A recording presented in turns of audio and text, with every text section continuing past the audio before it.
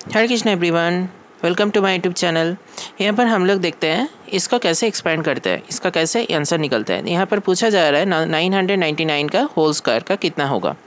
तो देखिए हम लोग dear for nine hundred ninety nine whole square so see इसका हम लोग तोड़ते हैं वन थाउज़ेंड माइनस वन इसको हम लोग मल्टीप्लाई डायरेक्टली नहीं करेंगे। मल्टीप्लाई कर देंगे तो कोई दिक्कत नहीं है।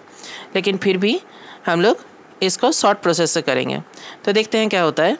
जैसे देखिए, यहाँ पर जैसे A minus B whole square क्या होता है? जैसे देखिए, एक फार्मूला होता है हम लोग का algebraic formula that is A square minus two A B then plus B square right so इस प्रकार से हम लोग इसको करेंगे। देखिए वन थाउज़ेंड का होल स्क्वायर लिख देंगे।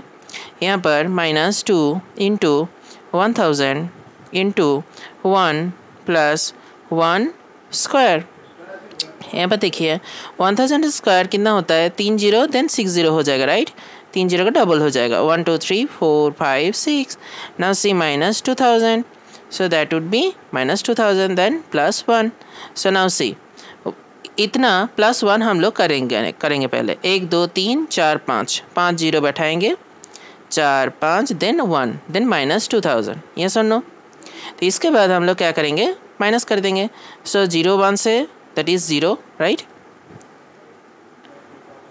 so 0 1 say that is 1 now 0 0 0 then 0 and then 2 8 say 10 then 1 9 then again 1 9 then 1 1 से 0 so that will be the answer okay हम लोग इसको डायरेक्टली मल्टीप्लाई नहीं किए ठीक है ओके थैंक यू गाइज़